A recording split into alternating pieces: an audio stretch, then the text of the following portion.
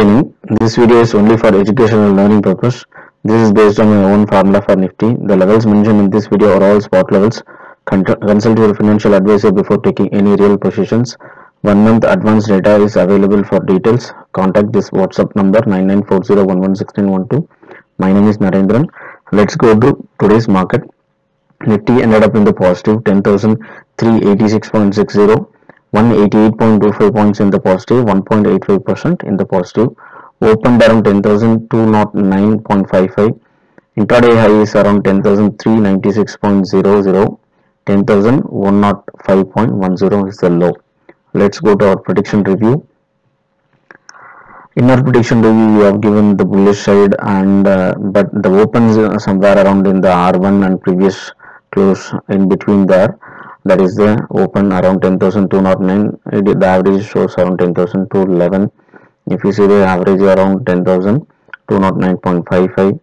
What happens is after a small flat positive opening, it has reached in the overall average around 40 odd points then it has given up all its positive and came down towards to the negative average even below than that it has traded and quite interesting fact point and fact is that the average of those two gives around 10,078 that is the uh, next support level. But the interesting fact is if you take the uh, 10,128 and uh, 10,078 those average which gives uh, 10,103 that is where the low is 10,105 and this uh, 10,028 it is nothing but if you take the entire average it gives 10,128.74 uh, I am uh, doing this uh, averages uh, it is nothing but if you take the average from the closing and to the negative average which gives you a average of 10,154 that is the bearish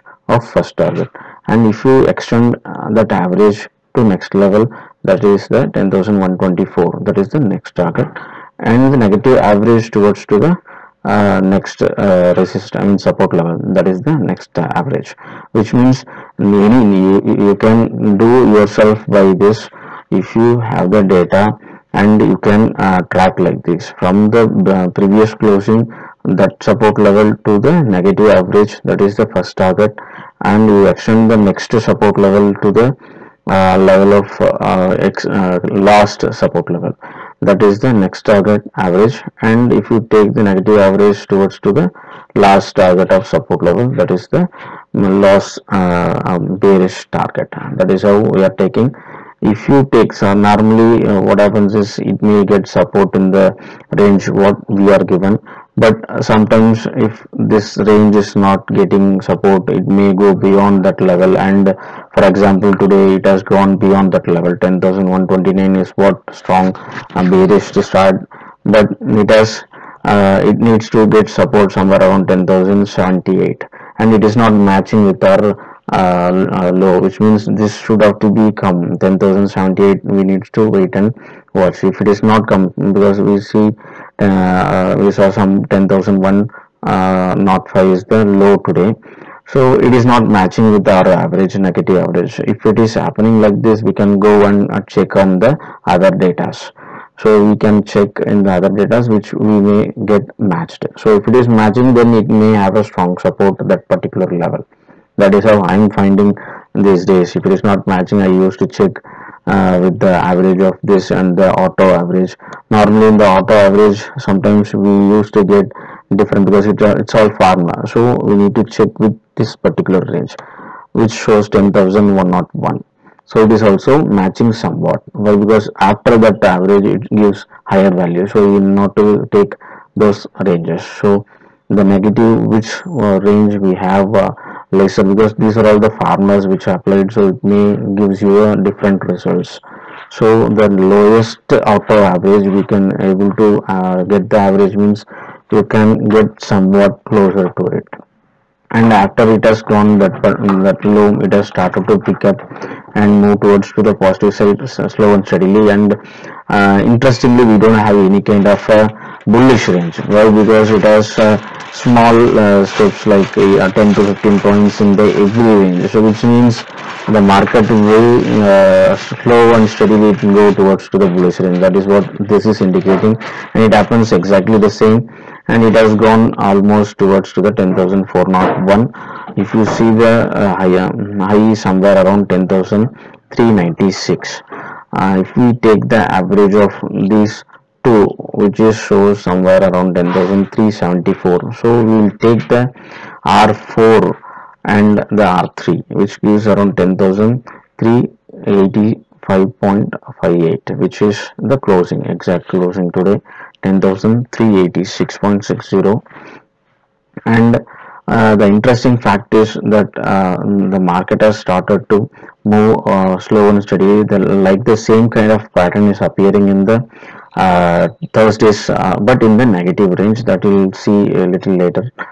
Now let's go to our uh, Thursday's prediction. In the Thursday's prediction the ratio is around 6 to 10 which means negative has a little upper end and the weightage is also in the negative side which is 5.9 percent in the negative and frequency is also indicating negative is very much likely to happen. 9 per 9 is to 5 i mean 5 is to 9 and uh, the percentage is indicating 69.3 percent in the negative side and 30.70 percent in the positive side. And uh, the formulas are still we are tracking all are indicating in the negative side the high and low in the positive range somewhere around 10,000 uh, 465 this may get hit uh, but the higher range around 256 is uh, still a question. And this may we need to track uh, the higher range uh, i mean lower range of positive 10465 on the negative side which is having a huge range around 400 to 600 we need to watch out how possible it is. If any negative bizarre news comes we need to check out and um, play accordingly.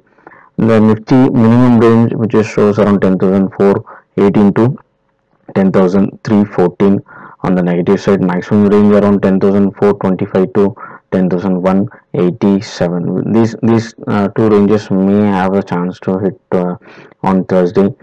And on the chances which shows around 10,409 uh, is having a positive side and the negative side 10,180 which is also ideally hap uh, happen on Thursday which is we need to wait and watch and the um, resistance support level uh, which uh, we have the positive range somewhere around 10,453 that is the key range if market is reaching that level and uh, hovering or uh, it may have a chance to go beyond that level. This is the bullish range to start. We need to track this uh, 10453 very cautiously.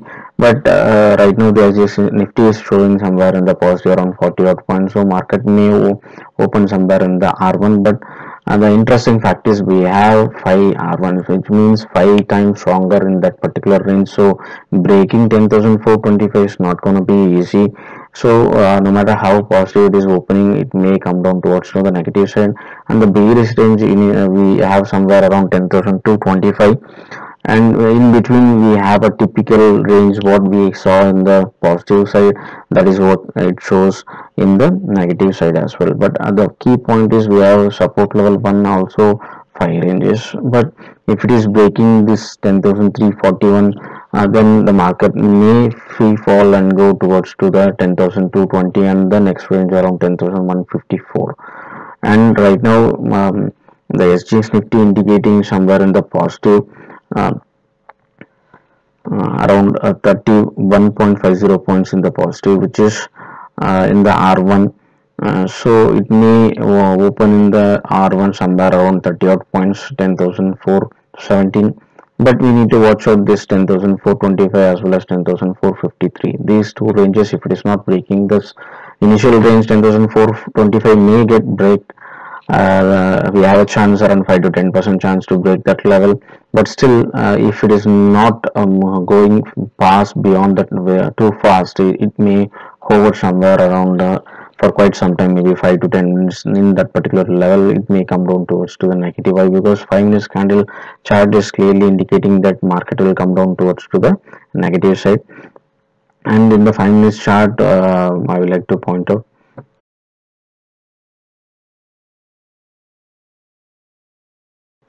The 5 minute chart is indicating that the market may come down towards to the negative around 10,200 or mark to 10,180 and the first target we may see somewhere around 10,288 uh, it may sustain that level and may recover a bit for quite some time. But uh, if it is breaking too fast it may come down towards to 10200 that is what uh, the 5 minute chart is indicating.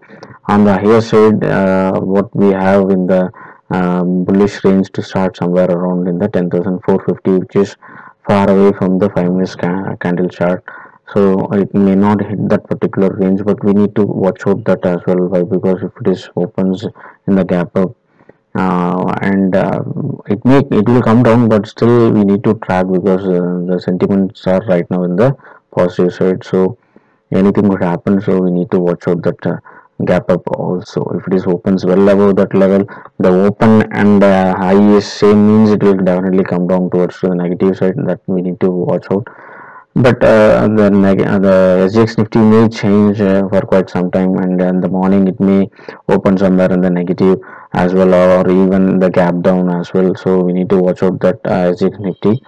And what are the negative news which we are going to uh, get tomorrow? It depends on that it may go towards to even 10,000 mark as well. So we need to watch out and bearish I have given the range of 10,200 and 45% chances to hit uh, that particular range bullish I am given around 15 and the flat is somewhere around 40% chances. Let's see how the market is going to give us on uh, Thursday. Thank you